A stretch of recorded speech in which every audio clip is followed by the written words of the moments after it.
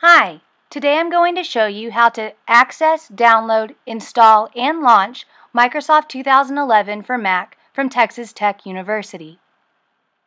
First, you're going to go to www.eraider.ttu.edu to access the eRaider homepage. Next, type in your username and password to sign in. Next, you will see seven different boxes, each of which showing different eRaider services.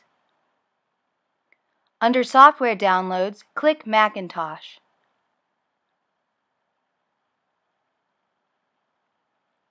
Under Office 2011 for Mac, click Download.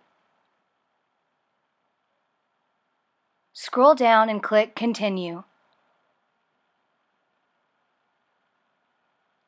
To agree to the terms, check all the boxes below.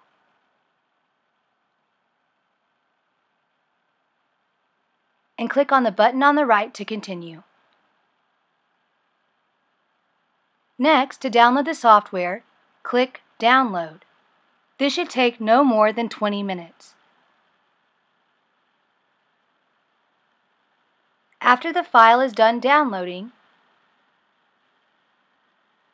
click the file named Mac Office 2011. The Office installer should now be on your screen, but before you can install the software, you must close out of any programs that may impair you from installing. Now double-click on the installer icon. Click Continue. Next, choose your language. Click Continue. Next, you must agree to the terms below. Click Install. Now you must input your computer password to allow for the installation to proceed.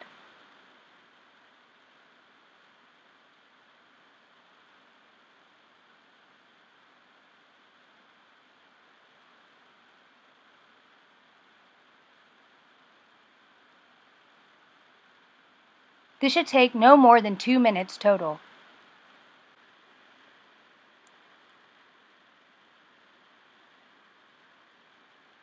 To allow your computer to open the software, click Open.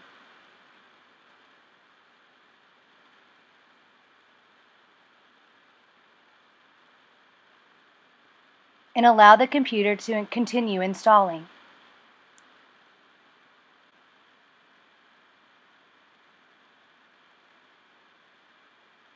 After the program is installed, click Close.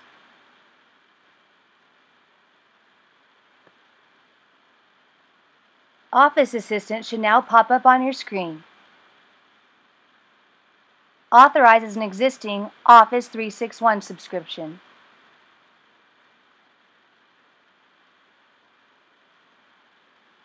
Finally, type in your e Texas Tech University email address and click Next. After that, follow the steps and you will then have successfully launched Office 2011 for Mac from Texas Tech University.